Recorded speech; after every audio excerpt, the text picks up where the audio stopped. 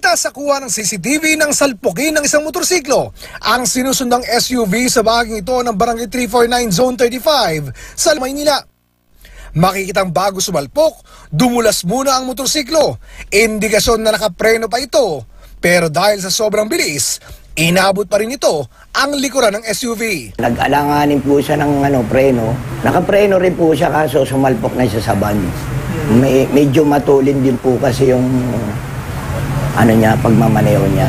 Agad din namang nakatayo ang rider at nagtamo lang ng konting galos sa ilang bahagi ng katawan.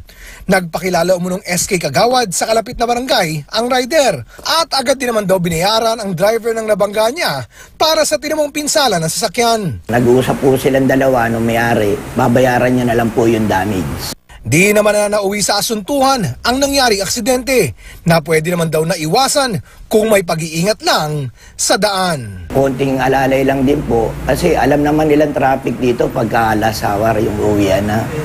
Dapat konting ingat din. Oscar Oida, GMA News.